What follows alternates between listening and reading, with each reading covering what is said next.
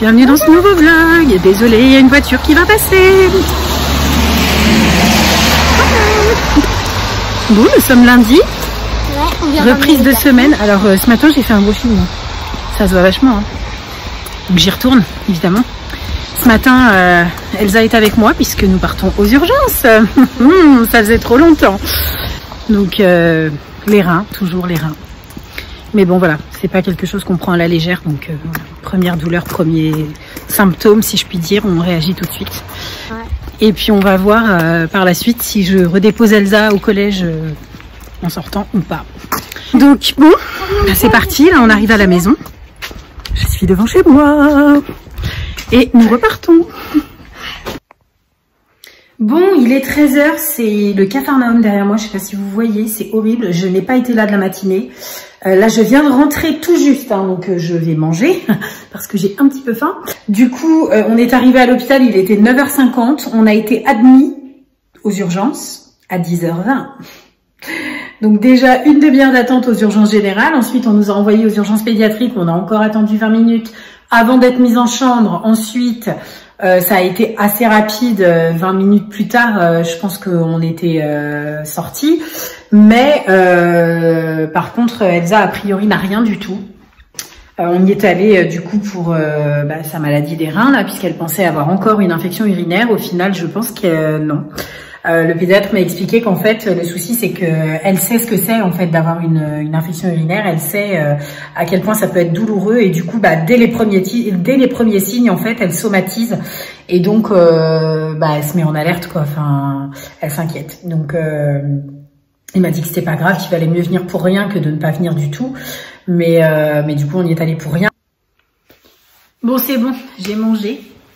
Il est euh, 13h41. Mais du coup, euh, voilà, je voulais revenir sur Anaïs parce que déjà, quand j'ai dit qu'elle avait fait un essai dans un autre salon, euh, j'ai eu beaucoup de retours me disant mais j'ai raté quelque chose. Alors, je vais revenir un petit peu euh, sur la situation d'Anaïs et puis euh, je vais vous expliquer un petit peu ce qui s'est passé. Euh, Anaïs, c'est quelqu'un de très timide et c'est une enfant qui a du mal à exprimer ce qu'elle ressent en fait. Et c'est ça son gros problème, c'est d'exprimer ce qu'elle ressent.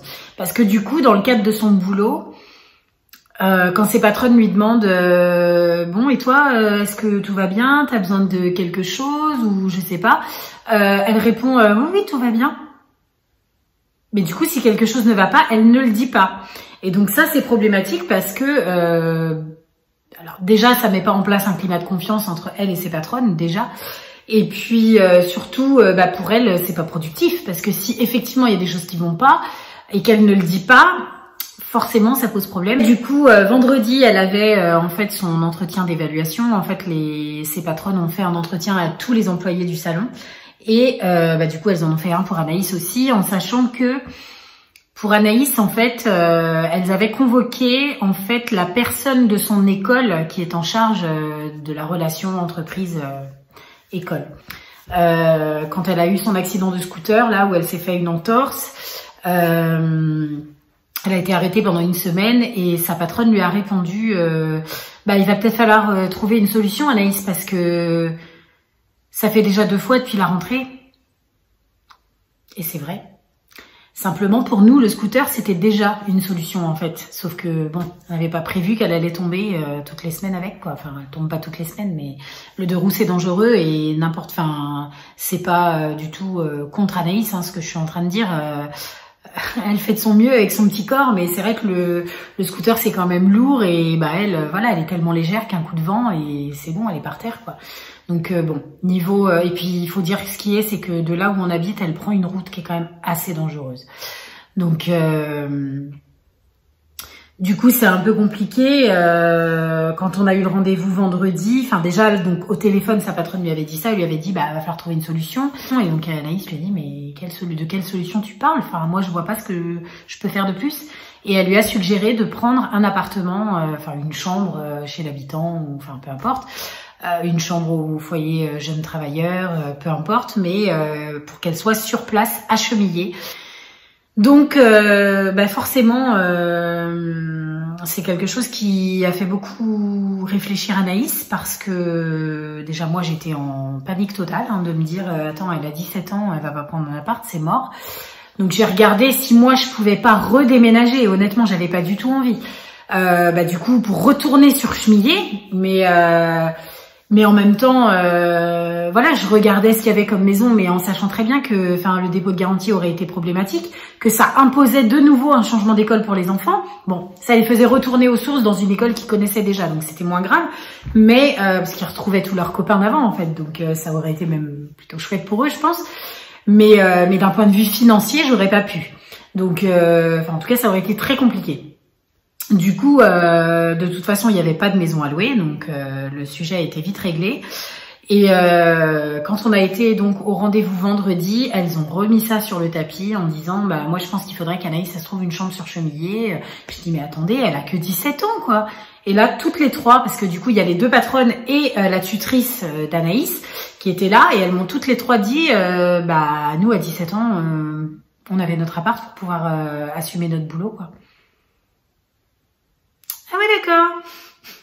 Je me suis dit, bah, je sais pas, je dois être trop mère poule alors parce que je me rends pas compte, quoi. Mais pour moi, euh, vivre tout seul à 17 ans, euh, ça me paraissait démentiel, quoi. Moi, j'ai pris mon premier appart à 19 ans, franchement, euh, j'avais du mal à me dire, waouh, je vais vivre toute seule, quoi. Mon papa, il a pleuré, enfin, mon papa qui pleure jamais quand même. Hein. je, je sais pas, mais ça me paraissait vraiment irréaliste, et pourtant, et ben pourtant, c'est ce qu'on est en train de mettre en place. Bon, je vous reprends, il est 20h57, les enfants sont au lit depuis 20 bonnes minutes. Non, tu peux couper le son, enfin couper, non mais baisser. Excuse-moi. Ça va. Elle est en train de regarder euh, le enfin, DNA en replay. Je l'interromps là en fait. Je déménage Ouais, j'ai raconté déjà. La meuf, elle est contente de partir de chez sa mère. Mais non, mais en fait, tu sais, le truc le plus qui me rend vraiment le plus heureux, c'est que je peux emmener Doudou. Ah oui, ça, je comprends. Et du coup, elle emmène son chat. Donc, euh... il va y avoir moins de bêtises à la maison. T'auras pas de pipi pendant les chaleurs? Il y aura plus de pipi. Ben, moins de risques, surtout pendant les chaleurs, parce que si on les a pas fait opérer d'ici là, euh, au moins, il n'y a pas de danger que son frère la monte. Ça, c'était un petit peu ma crainte. Donc, euh, non, c'est bien. En plus, euh, Doudou aura une terrasse. oui. en fait, Anaïs, elle a de sa fenêtre, en fait, elle a un toit plat devant chez elle. Et du coup, euh, la propriétaire a dit que le chat pourrait aller sur la fenêtre, enfin sur le toit, sans problème. Donc, euh, je pense que Doudou va s'aventurer dehors. Non, mais si tu me racontais la page, J'ai spoilé DNA, en fait. Non, mais ça va, quoi. Ouais, je suis désolée. Alors, je me suis lavé les cheveux cet après-midi parce que j'ai fait du vélo elliptique, donc j'ai pris une douche. Et du coup, euh, bah, je me les suis pas coiffées puisque à chaque fois que je sors, je ressemble plus à rien. Donc je me suis dit ça sert à rien. Donc j'ai attaché. Voilà. C'est pas top, mais tant pis. Bon, du coup, euh, je vous reprenais un petit peu en vidéo, mais euh, je ne clôture pas ce soir puisque je vloguerai également demain et je ferai un vlog de deux jours. Euh, je voulais revenir un petit peu sur la soirée de, de vendredi puisque effectivement j'ai eu beaucoup, beaucoup, beaucoup de retours sur le vlog euh, samedi pour me dire que je suis une mauvaise mère parce que euh, j'ai emmené mon fils malade au ciné. Alors, euh, je voudrais juste préciser que quand nous sommes partis, comme il sautait dans tous les sens, hein, donc il était loin d'être en état maladif. il se portait comme un charme, vraiment. il avait mangé en plus avant de partir et absolument pas mal au cœur ou quoi que ce soit. Il allait très bien quand nous sommes partis au ciné. C'est d'ailleurs pour ça que j'ai accepté d'y aller. Puisque si vous avez regardé la vidéo correctement samedi, euh, j'ai bien précisé que moi, je ne voulais pas aller au ciné. Les enfants ont insisté et j'ai dit non, comme est malade, on va rester là, on ira soit la semaine prochaine, soit la semaine d'après, il n'y a pas d'urgence. De toute façon, le dessin animé, il sera au ciné pendant plusieurs semaines, donc pas de problème. Sauf que, en fait, comme m'a dit... Euh, euh, mais ça sert à rien de rester là, je vais bien, euh, j'ai rien. Et c'est vrai que depuis le midi, en fait, en gros, il a eu entre 7h et 8h30, il a vomi trois fois, il a eu deux fois la diarrhée et après, plus rien de la journée. C'est-à-dire de 8h30 le matin jusqu'à ce qu'il fasse son malaise au ciné, donc à moins de, enfin à 19h30 le soir. euh, il allait parfaitement bien. Donc, on n'a absolument pas soupçonné qu'il puisse faire un malaise. Maintenant, euh, je pense en fait qu'il a fait un malaise vagal parce qu'il avait très très chaud quand c'est arrivé. Et concrètement, euh, quand il a repris connaissance, enfin, il a perdu connaissance moins d'une minute. Hein. Mais euh, quand il a, il avait les yeux ouverts d'ailleurs, mais il a repris ses esprits en fait. bah, dans les deux minutes qu'on suivit, il était déjà assis. Enfin, on est allé aux toilettes, il marchait tout seul, il était en forme, il était blanc, mais il était, ça y est, il avait repris il avait repris possession de son corps, quoi. Donc, euh, j'ai vraiment, je pense que c'est un malaise vagal. Je suis même pas sûre que ce soit dû à la gastro, en fait. Donc, euh, bon, c'est possible que ce soit dû à la gastro, mais j'en suis pas certaine. En tout cas, euh, voilà, je voulais juste préciser que non, je ne suis pas une mère indigne. si mon, fils avait été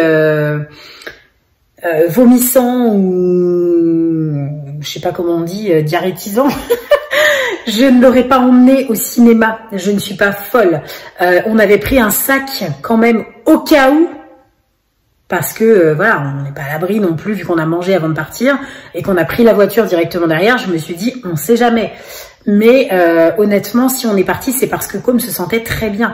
Euh, d'ailleurs, j'avais fait une coupure de, de, au montage du vlog parce que, euh, enfin, j'ai pas fait une coupure. En fait, j'ai refait deux fois la vidéo, celle où je vous disais, euh, bah, on part au ciné, machin, nanana. En fait, sur la première vidéo, je ne l'ai volontairement pas publiée déjà parce que les enfants se montraient trop sur la caméra, enfin sur la, la vidéo, et parce que justement, comme sautait partout et il criait et du coup, je me suis dit, bah non, pour les oreilles, c'est juste euh, pas possible. Donc du coup, j'ai coupé, je leur ai demandé de se taire et j'ai refait la vidéo en fait. Donc finalement, j'aurais peut-être dû mettre la première pour que vous puissiez juger par vous-même qu'il était en parfaite forme. Voilà, donc euh, non, je ne suis pas une mère indigne, euh, je ne fais pas n'importe quoi. Donc aujourd'hui, il va très bien, il est retourné à l'école, tout, il a passé une excellente journée, donc il a très bien mangé à la cantine et absolument pas eu mal au cœur ou quoi que ce soit. Donc voilà. Bon, ben on est mardi matin. J'ai encore une coiffure de folle aujourd'hui. Euh, on est mardi matin et on rentre à la maison.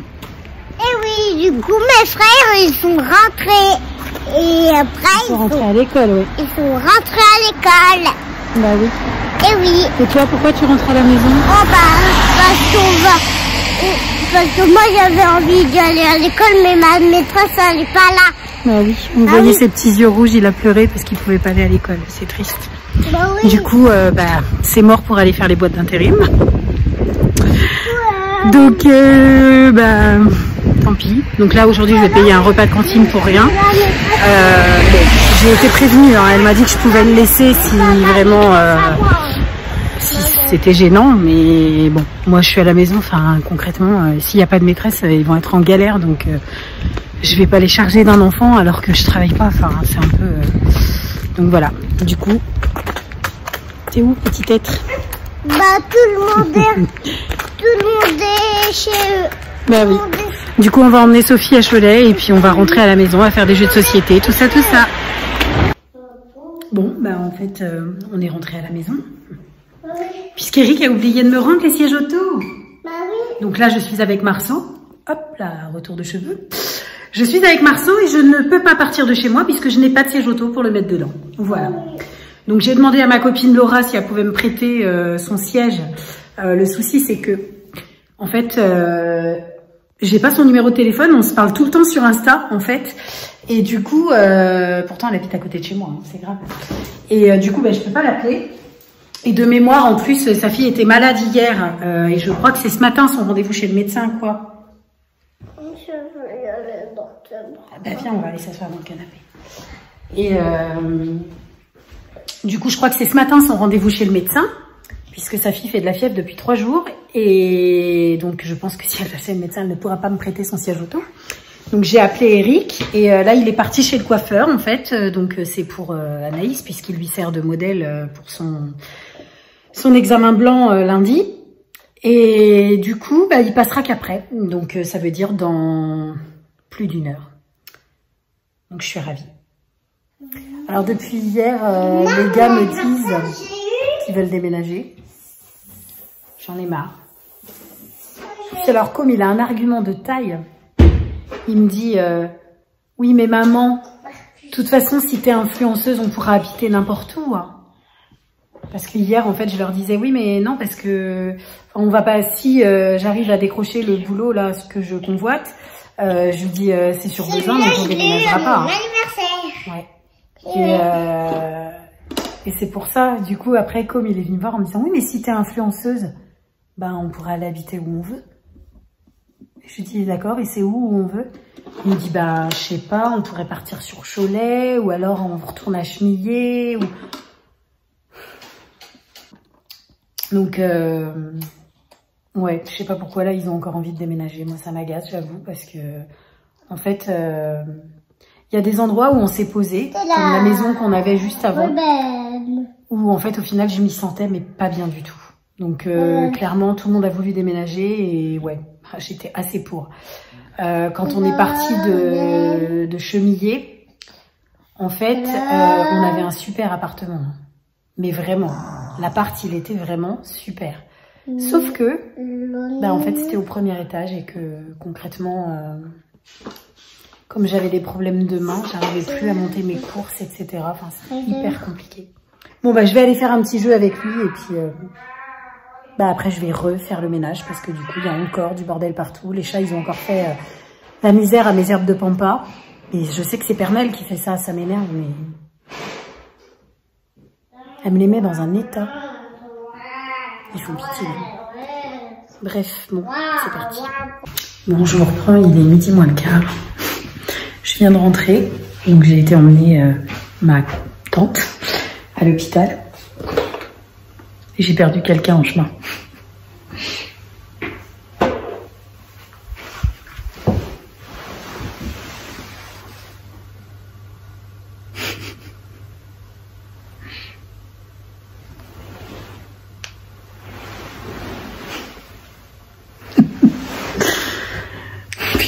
Hein. Bon, du coup, euh, Eric en fait est arrivé à 10h20 pour me laisser les sièges et donc euh, je suis partie directement et bah là je viens de rentrer et on m'a offert ça pour le service. J'avais rien demandé. hein. Donc euh, bah, je vais me poser, je vais en manger un. Et puis après je vais appeler Manpower pour savoir ce qu'il en est pardon, de ma candidature que je n'ai pas déposée d'ailleurs, mais quelqu'un devait me rappeler, personne ne m'a rappelé, donc je vais appeler pour faire le point. Bon, qualité de vidéo pourrie, je suis dans ma chambre, donc forcément, mauvaise luminosité, couleur des murs atroces, qualité de vidéo pourrie. Euh, je vous reprends pour clôturer, en fait, nous sommes euh, toujours mardi, il est euh, 21h10. Je suis dans mon lit et euh, en fait je m'apprête à regarder euh, une prestation de La France est un, incroyable talent. En fait c'est la jeune fille ventriloque. Euh, je l'ai vue euh, la semaine dernière, enfin non c'était pas la semaine dernière, je sais plus. Je l'ai vue euh, quand elle est passée la dernière fois et euh, en fait je suis tombée dessus par hasard parce que je regarde pas du tout cette émission en temps normal et en fait bah, j'ai beaucoup aimé sa prestation et là j'ai vu qu'elle repassait ce soir donc euh, je l'ai mise. Normalement je venais pour regarder les mamans mais du coup, j'ai, euh, j'attends. Là, c'est la pub et j'attends que euh, voilà la, jeune fille repasse pour euh, pour voir sa nouvelle prestation. Voilà. Du coup, je m'en mitoufle hein, dans mon lit. J'aime bien. Du coup, oui, je voulais revenir un petit peu sur les explications par rapport à Anaïs parce que, en fait, je vous ai expliqué qu'effectivement, elle, elle, elle a décidé de prendre son appartement. Déjà, ça faisait un moment qu'elle m'en parlait. Euh, sauf que euh, à la base, elle voulait euh, en fait prendre un studio carrément. Euh, sauf que moi, je pense qu'elle a clairement pas les moyens et donc du coup, finalement, elle a trouvé une chambre chez l'habitant. Donc euh, moi, ça me va bien. C'est une euh, une dame âgée en fait qui a une énorme maison, une maison immense. Et du coup, elle a fait aménager dans une partie de sa maison euh, elle a fait aménager des chambres, tout simplement. Donc euh, Anaïs, elle va avoir une chambre avec euh, euh, un lavabo et un miroir. Elle a euh, un meuble avec, je crois qu'il y a un frigo. Elle a un frigo avec une plaque de cuisson au-dessus. Et puis un meuble pour ranger toutes ses affaires de cuisine et tout ça. Bon, il n'y a pas grand-chose, hein, mais mais si elle fait ses courses alimentaires et tout ça, enfin tout, ouais, tout son alimentaire, elle peut le ranger là. Elle a un placard pour ranger ses affaires et puis elle a du coup son lit. Euh, donc bon, il y a le strict minimum hein, et puis euh, c'est important pour elle aussi, c'est que la dame accepte qu'elle emmène son chat. Donc euh, c'est important pour elle, puis c'était important pour moi aussi parce que bon, ça me fait bizarre de me dire que voilà, elle a que 17 ans et elle va se retrouver toute seule dans son appartement. Moi, je me souviens quand j'ai pris mon appartement, j'avais 19 ans et bah, la solitude, ça m'a pesé un petit peu quand même et du coup, euh, je voulais pas qu'elle ressente la même chose et là, je me dis elle aura son chat, donc euh, elle sera pas toute seule. Voilà, donc techniquement, elle est censée déménager vendredi. Euh, puisqu'elle ne travaille pas en fait et qu'elle aura les clés vendredi. Donc la dame lui a dit, euh, même si vous emménagez avant le premier, c'est pas gênant, vous inquiétez pas, il n'y a pas de problème pour moi. Donc du coup, bah, je pense qu'elle va emménager vendredi. Et ben, du coup, Elsa va récupérer sa chambre puisque je pensais pas qu'elle allait vouloir récupérer cette chambre, mais en fait, elle me dit que par rapport à son rythme avec le collège, ce serait plus facile pour elle qu'elle ait sa chambre et je le conçois tout à fait et j'avoue que je suis bien contente de pouvoir la lui laisser. Donc euh, ce que tout, le monde dans mon entourage me dit ah bah c'est cool tu vas pouvoir récupérer sa chambre. Non non moi j'ai pas besoin de récupérer sa chambre. J'ai une chambre pourrie mais je m'en fous j'ai une pièce pour dormir. Euh, j'ai un lit je dors pas par terre ni dans le canapé donc il euh, n'y a pas de souci pour moi je peux dormir dans une chambre sans fenêtre c'est pas grave donc voilà du coup, euh, je vais vous faire un petit point euh, boulot aussi, puisque euh, hier j'ai rappelé Super U et en fait,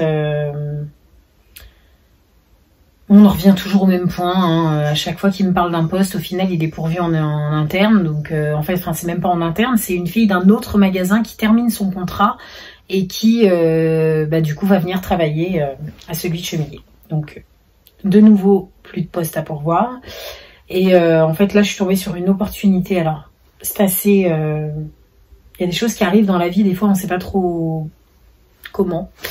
Mais euh, moi, je crois pas au hasard. Maintenant, ça n'aboutira peut-être pas. Mais en tout cas, pour l'instant, il y a une opportunité. En fait, quand je suis arrivée ici, ma voisine m'a expliqué que elle-même, quand elle est arrivée donc dans la maison d'à côté, elle venait tout juste de se séparer, donc elle était mère célibataire aussi, et en fait, elle, voilà, il fallait qu'elle bosse. Et quand elle est arrivée, donc à Vezin, elle est allée dans une entreprise de Vezin pour déposer son CV en disant, écoutez, euh, je suis mère célibataire, euh, j'ai besoin, il me faut un travail. Et en gros, ils l'ont embauchée. Alors c'est en usine, hein, euh, c'est pour faire du montage de volets roulants. Euh, et ils l'ont embauchée et ça fait des années qu'elle travaille là. Je crois que ça fait 9 ans, il me semble, et euh, ça a l'air d'être une bonne entreprise. Euh, en plus, c'est clairement à côté de la maison. Elle y va en vélo. Hein. Et elle m'avait dit, bah, à l'occasion, on postulait, vous verrez bien. Puis je m'étais dit, ouais, bon, c'est du travail en usine, mais c'est à la journée en plus. c'est du travail en usine, donc bon, pas top. Et finalement, hier, quand j'ai vu que Super Une ne donnait pas suite à ma candidature, je me suis dit, mais punaise, euh, euh, mon mode de réflexion n'était pas le bon, mais, euh, mais je me suis dit, même Super U, ils veulent pas de moi, quoi. Donc je pense que c'est pas du tout le, le principe, c'est pas ça, c'est juste que, bah voilà, il y a plus de poste, il y a plus de poste, quoi. Mais, mais là, je me suis dit, bon, allez, tente ta chance, de toute façon, t'as rien à perdre, concrètement. Juste un job à y gagner avec un salaire, soit au SMIC, mais euh, ça sera en intérim en plus, donc du coup, ce serait un petit peu plus que le SMIC pendant... Là, c'est pour six mois, je crois, j'ai vu les contrats. Moi, ça me va bien, ça me permet de recharger mes droits de chômage et peut-être que dans six mois, je pourrais faire une formation. Qui sait? Et donc, je me suis dit, je vais envoyer mon CV dans cette entreprise et je verrai bien ce qu'ils me proposent comme poste. Ça se trouve, euh, avec un peu de chance, je peux avoir un poste dans l'administratif.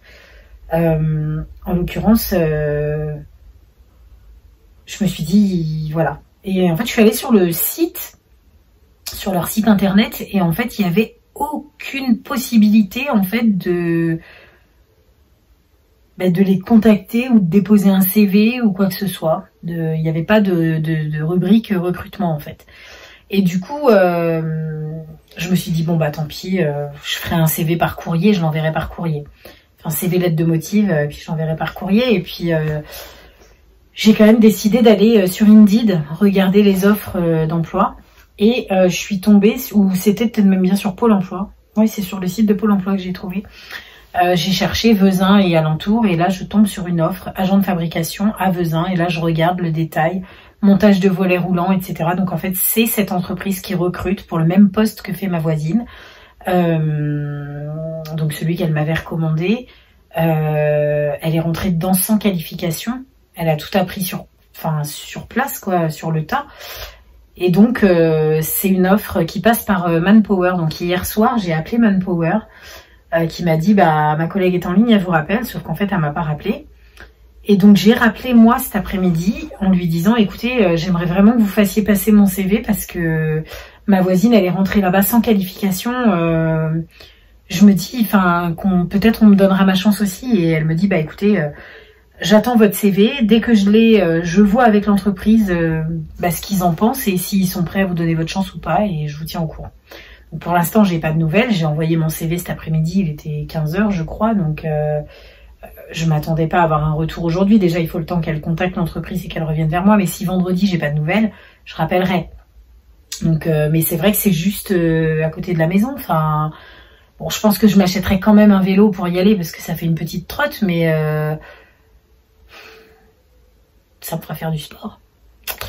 Mais ouais, j'aimerais vraiment beaucoup décrocher ce, boulot parce qu'en plus c'était marqué à pourvoir de suite. Donc euh, bah, au plus tôt je travaillerai, mieux ce sera. Maintenant, la seule chose qui va être compliquée, enfin compliquée, ça va pas être compliqué pour moi, mais ça va être compliqué pour les enfants, c'est qu'ils vont être obligés de se lever de bonne heure. Donc euh, ils iront se coucher de bonne heure aussi, hein, puisque de toute façon, s'ils sont fatigués, ils s'endormiront. Euh, c'est qu'il faudra que je les dépose à la pairie à 7 heures le matin. Parce que, euh, bah parce que moi, j'embaucherai à 7h30, en fait. Et donc, euh, au début, je m'étais dit, bah, c'est pas grave, Anaïs, elle bosse pas le matin, elle pourra les emmener, sauf qu'Anaïs, elle va plus habiter ici. Donc, je ne peux pas compter sur elle. Et prendre une nounou à la maison, ça va me coûter euh, vraiment très cher. Sauf si je trouve une babysitter, mais, euh, mais les babysitters en général c'est des étudiantes et je pense que le matin euh, bah, elles ont cours aussi. Donc c'est dommage parce que j'ai une cousine, bah, la, fille de ma tante que j'ai emmenée à l'hôpital ce matin. En fait à la base c'est la cousine d'Eric, mais en fait on est resté très proches. on est voilà, on s'entend très très bien. Et en fait, euh, je lui disais que si on avait habité plus proche, je l'aurais embauchée en fait. Euh, et euh, elle était dégoûtée parce qu'elle me dit ah, mais j'aurais trop aimé, mais en fait elle a pas le permis et on n'habite pas du tout sur la même commune. Elle, elle habite à Chemillé, donc à 20 minutes de chez moi. Donc sans le permis c'est compliqué.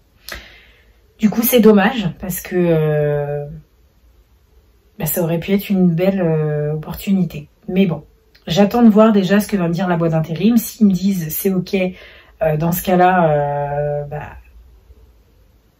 je vais essayer de m'organiser parce que du coup, euh, il faudra que je commence à 7h30. J'espère qu'ils vont pas me le dire vendredi, c'est ok pour lundi, quoi. Parce que moi, il faut que j'ai le temps de réserver la périscolaire. Voilà.